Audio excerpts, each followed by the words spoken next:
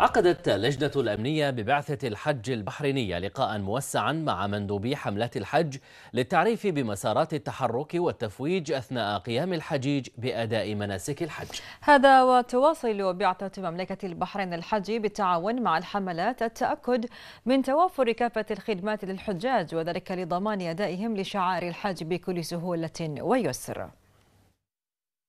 عقدت اللجنة الأمنية ببعثة مملكة البحرين للحج لقاء موسعا بمقر البعثة مع مندوبي جميع حملات الحج البحرينية. وذلك بهدف تعريف الحملات مسارات التحرك والتفويج في المشاعر المقدسة بمنى وعرفات ومزدلفة وكذلك مواعيد النفرة وتحرك قطارات المشاعر. إحنا طبعا هذا اجتماعنا يكون اجتماع سنوي نجتمع بالمقاولين نعطيهم خطة التفويج السنوية. خروجهم من منى إلى عرفة ورجوعهم من عرفة إلى مزدلفة. فهذه الخطة إحنا كل سنة نضعها لهم على أساس نحاول ننجح ونفوج الجماعة في أسرع وقت ممكن. آه طبعا المدة اللي نعطيهم إياها هي المفروض نتجاوزها في خلال ساعتين نفوج البحرينيين كلهم. الحمد لله في السنوات اللي مضت نجحنا في خطط التفويج الموجودة عندنا وصار عندنا آه، يعني تفويج بحركة سريعة بتعاون المقاولين طبعا معانا. على اتفاق إن التفويج آه، خروج الحجاج من العرفات والأبواب اللي كانوا يستخدمونها بيكونون يستخدمونها في آه، وأبواب المسارات اللي يمشون فيها فيكون منظم أزيد في عملية تسهيل وتنظيم إلى حركة الحجاج والتفويج.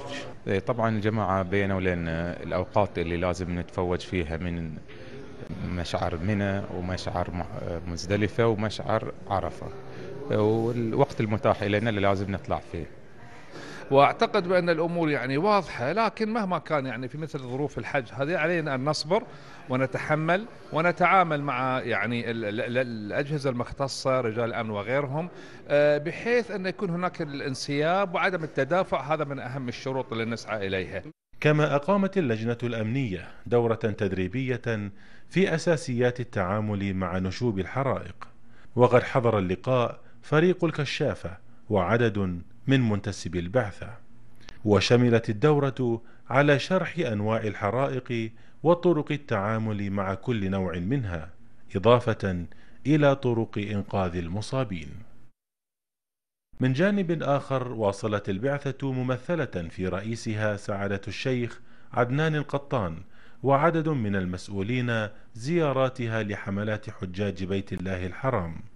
تقوية لأواصر التعاون ورصدا لرضا رؤساء الحملات والحجاج للخدمات التي تقدمها البعثة. الحقيقة أولا أقدم جزيل الشكر والإحترام إلى بعثة البحرين التي لا يعني تلو وقتا إلا وهي تطمئن على جميع حجاج البحرين عامة. كما واصلت كاميرا البعثة جولاتها الميدانية بين الحجاج لاستطلاع آرائهم ومستوى رضاهم عن أداء الحملات.